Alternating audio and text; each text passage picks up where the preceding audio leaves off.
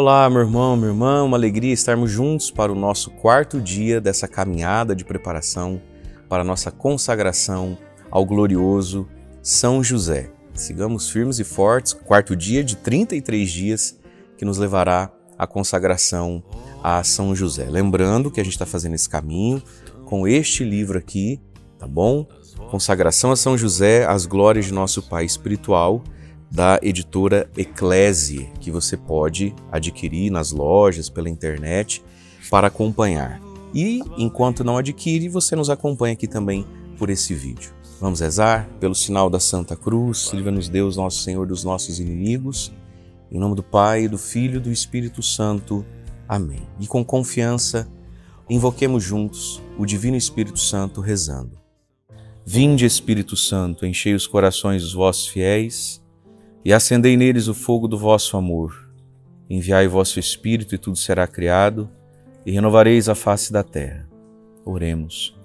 Ó Deus que instruístes os corações dos vossos fiéis com a luz do Espírito Santo, fazei que apreciemos corretamente todas as coisas, segundo o mesmo Espírito, e gozemos sempre da sua consolação. Por Cristo, Senhor nosso.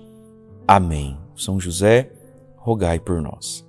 Muito bem, o tema desse quarto dia é Deus Filho, Redentor do mundo, tende piedade de nós. Como você sabe, nós estamos seguindo a ladainha de São José.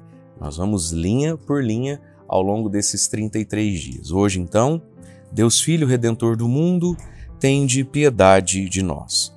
Santo Afonso de Ligório dizia assim: O santo exemplo de Jesus Cristo, que enquanto na terra honrou tanto a São José sendo-lhe tão obediente em vida, deve ser suficiente para inflamar o coração de todos com a devoção a este santo.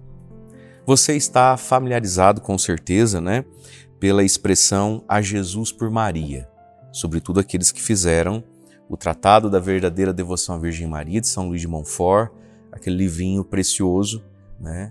Muitas pessoas fizeram essa consagração a Jesus por Maria. Por que será que talvez naquele livro e em tantos o autor falou tão pouco de São José? É importante a gente saber que todo santo amou muito a São José, né?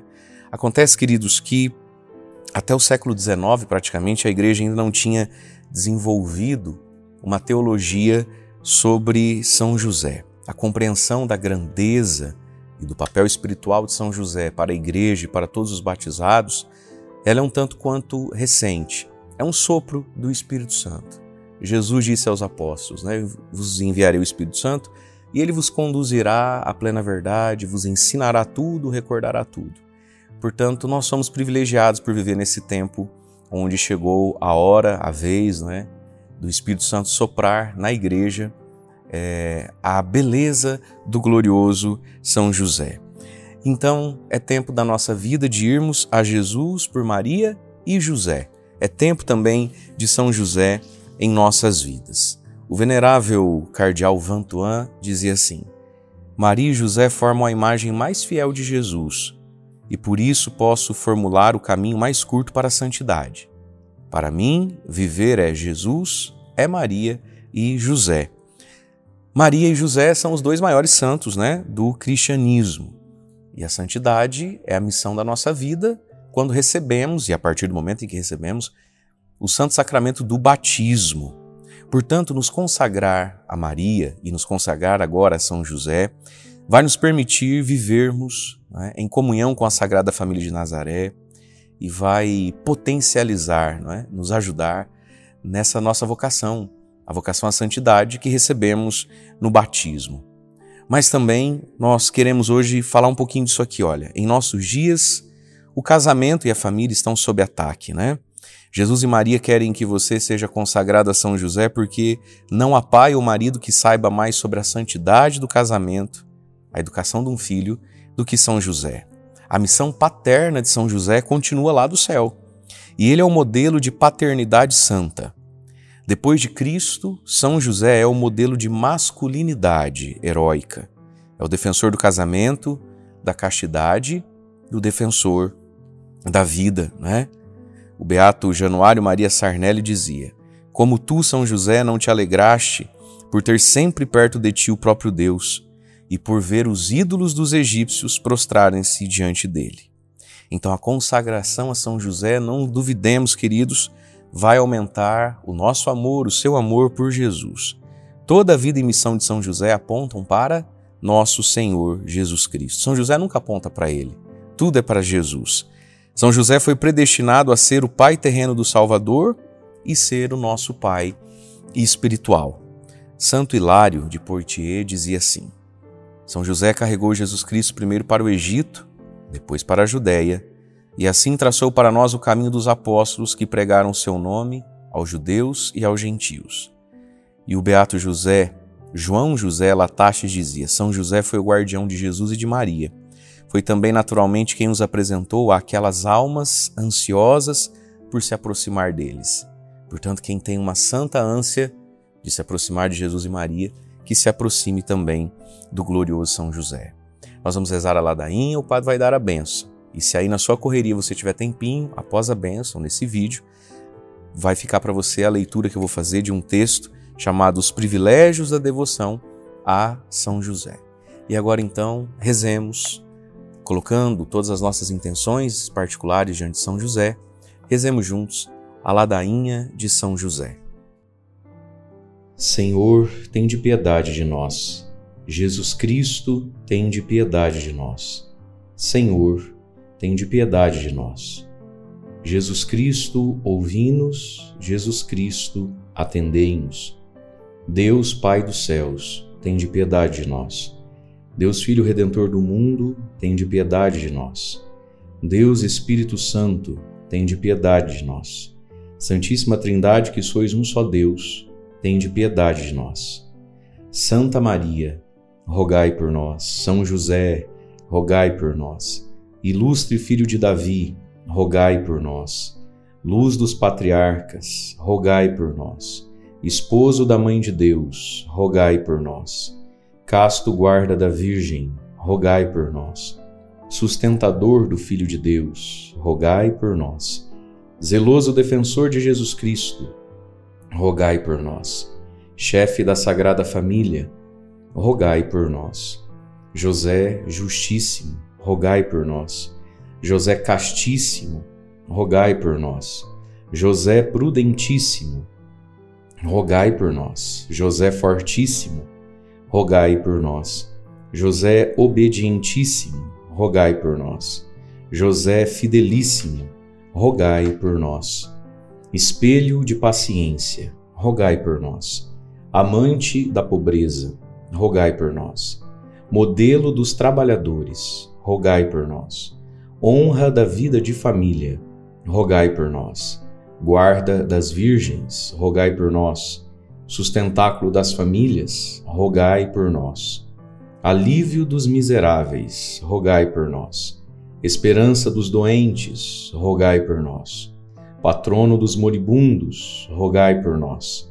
Terror dos demônios, rogai por nós. Protetor da Santa Igreja, rogai por nós. Cordeiro de Deus, que tirais os pecados do mundo, perdoai-nos, Senhor. Cordeiro de Deus que tirais os pecados do mundo, ouvi-nos, Senhor. Cordeiro de Deus que tirais os pecados do mundo, tende piedade de nós. Ele o constituiu Senhor de sua casa e fê-lo príncipe de todos os seus bens. Oremos. Ó Deus, que por inefável providência vos dignastes escolher a São José por esposo de vossa Mãe Santíssima, Concedei-nos, vos pedimos, que mereçamos ter por intercessor no céu aquele que veneramos na terra como protetor. Vós que viveis e reinais por todos os séculos dos séculos. Amém.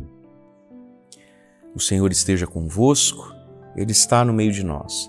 Por intercessão do glorioso São José, desça sobre você a bênção do Deus Todo-Poderoso, Pai, Filho e Espírito Santo. Amém os privilégios da devoção a São José. Tende a amar muito São José, amá-lo com toda a tua alma, porque é a pessoa que, com Jesus, mais amou Santa Maria e quem mais privou com Deus. Quem mais o amou depois da nossa mãe? Ele merece o teu carinho e a ti convém te buscar o seu convívio, porque é mestre de vida interior, e pode muito diante do Senhor e diante da Mãe de Deus, dizia São José Maria Escrivá. Jesus e Nossa Senhora querem que você ame São José para que a sua virtude e santidade possam aumentar. Não importa qual seja a sua vocação ou seu estado de vida. Você será abençoado se cultivar uma ardorosa devoção a São José. Os privilégios desta são tremendos e estão à sua disposição, dizia São Jorge Preca. A devoção a São José é poderosa porque ele nos dá sua proteção, o seu exemplo é sua bênção. A beata Maria Teresa de São José amava São José e recebeu graças extraordinárias do céu porque se apoiava na intercessão dele. Ana Maria Tauscher van der Bosch, seu nome antes de abraçar a vida religiosa, nasceu na Alemanha em 1855. Foi criada numa convicta família protestante e seu pai era ministro luterano. Ao longo do tempo, Ana Maria enamorou-se dos ensinamentos do catolicismo e informou o pai do seu desejo de fazer-se católica. O pai não ficou nada feliz com a decisão e disse-lhe que sentia vergonha por ela abandonar sua criação protestante. Não quis sequer que ela continuasse a morar na mesma casa que ele. Numa ocasião, quando morava sozinha, mas ainda antes de tornar-se católica, o pai a visitou numa tentativa de dissuadi-la da ideia de entrar para a Igreja Católica. Nessa visita, descobriu um livro sobre São José no quarto da filha. Após uma rápida olhada no livro, ele o devolveu ao seu lugar e mais tarde, no jantar, ridicularizou e escarneceu São José diante da filha. Na sua biografia, Ana Maria recorda o acontecimento. Durante o jantar, meu pai disse: Como é possível que alguém reze a um homem tão estranho? Essa expressão estranho ou estrangeiro causou-me profunda impressão. Pensei mais em mais mais e mais em São José e desenvolvi uma devoção tão grande e terna ao meu querido pai São José, como o chamava, que pensei que devia fazer reparação pela frieza daqueles que não creem para com ele. Depois que Ana Maria se converteu ao catolicismo, seu supervisor no trabalho, que era luterano, a demitiu.